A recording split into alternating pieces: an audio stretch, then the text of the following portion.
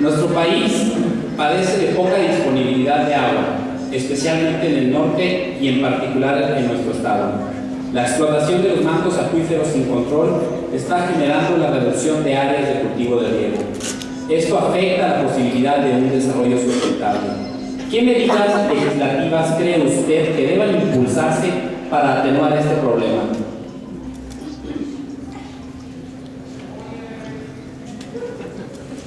Pues bien, miren, eh, primero hay que partir del hecho de que ya en este momento las dos terceras partes de la población de México viven en zonas urbanas y sin embargo el mayor consumo de agua sigue siendo en el campo.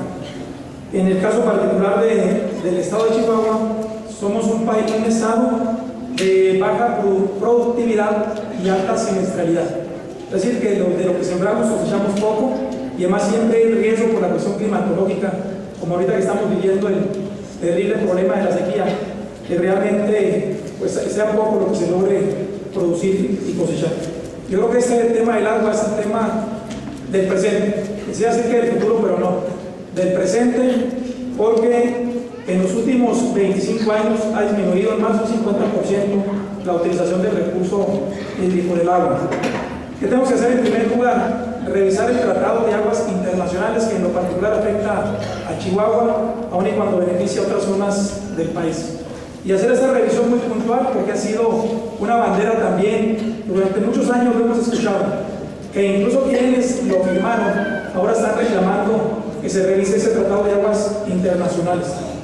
En segundo lugar, así como dentro de los municipios debe establecerse por ley la obligación de tener un instituto municipal de planeación que defina los mecanismos y las reglas para el crecimiento ordenado y sustentable de las ciudades, así también dentro de los estados y a través de una reforma que podamos impulsar desde el Senado, se esté marcada la obligación para que cada estado de la República cuente con un instituto estatal del agua, que no es lo mismo tener una junta de aguas que se dedica nada más a definir las, las cuotas de todo lo que le dan a las familias, que cuando falta agua van y hacen un pozo de 500 o de 1000 metros y que están dañando y acabando con los mantos acuíferos, que tener un instituto estatal del agua que pueda ver la planeación a largo plazo de qué, en qué zonas sí se puede explotar o aprovechar la utilización del agua, cuál debe ser el crecimiento de las ciudades y el máximo que se puede dar.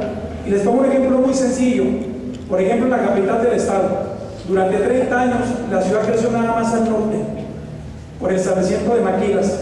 Y cuando se agotó la mano de obra, pero también cuando se agotó el recurso líquido, cuando se acabaron los mantos acuíferos y los pozos de aquella región, entonces empezó el crecimiento en el lado sur de la ciudad. Si se hubiera hecho un crecimiento ordenado, sustentable, concentrado, ahorita tendríamos todavía mantos acuíferos que rodearan toda, toda la ciudad. Para eso y para otro, es necesario definir políticas públicas de largo plazo a través del Instituto Estatal del Agua. Necesitamos también leyes que incentiven la tecnificación del campo, leyes donde se den apoyos al agricultor, al campesino, al productor, para que entren al sistema de boteo por aspersión, por microaspersión.